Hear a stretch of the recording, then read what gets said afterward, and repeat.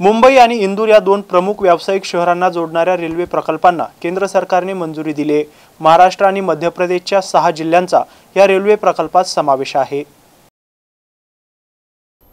केंद्र सरकारने मंजुरी दिलेला तीनशे नऊ किलोमीटरचा हा रेल्वे मार्ग आहे. या रेल्वे मार्गावर तीस नवीन स्थानके बांधली जाणार आहेत. तर अठरा हजार छत्तीस कोटी रुपयांचा हा प्रकल्प असून नवीन रेल्वे मार्ग प्रकल्पात सुमारे एक हजार गावे आणि सुमारे तीस लाख लोकसंख्येला जोडले जाणार आहे.